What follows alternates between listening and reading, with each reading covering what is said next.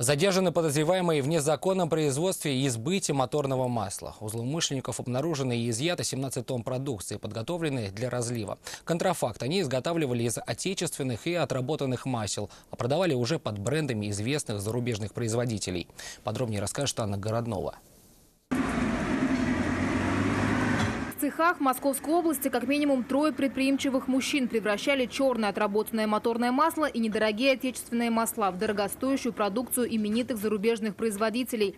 Здесь же оперативники нашли новую упаковку для этой жидкости.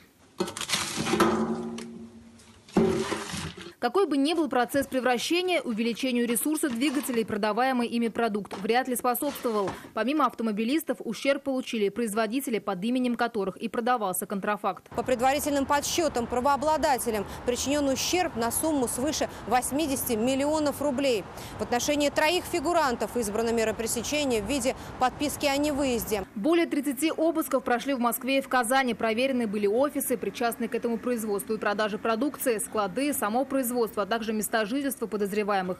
Полицейские обнаружили и изъяли больше 17 тонн моторного масла, подготовленного для разлива, свыше 3000 канистр, 12 тонн готовой продукции, еще документы и финансовую отчетность. Доказательств, говорят, набралось достаточно. Анна Городнова, Ленар Геннатуллин, вызов 112.